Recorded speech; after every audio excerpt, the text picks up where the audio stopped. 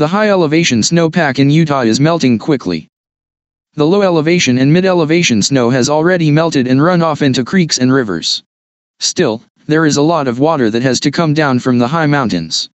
The creeks that drain the high elevation snowpack are really roaring right now. That includes Big Cottonwood Creek, Little Cottonwood Creek, City Creek and Mill Creek in Salt Lake County. Huge volumes were flowing in those creeks Friday. And the peak is still a week away. That high elevation snowpack has ripened. And it's melting fast on a daily basis, Glen Merrill, a hydrologist with the National Weather Service said.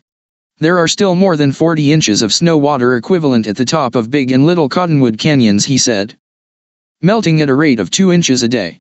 There are still more than 20 days of snow left to come down.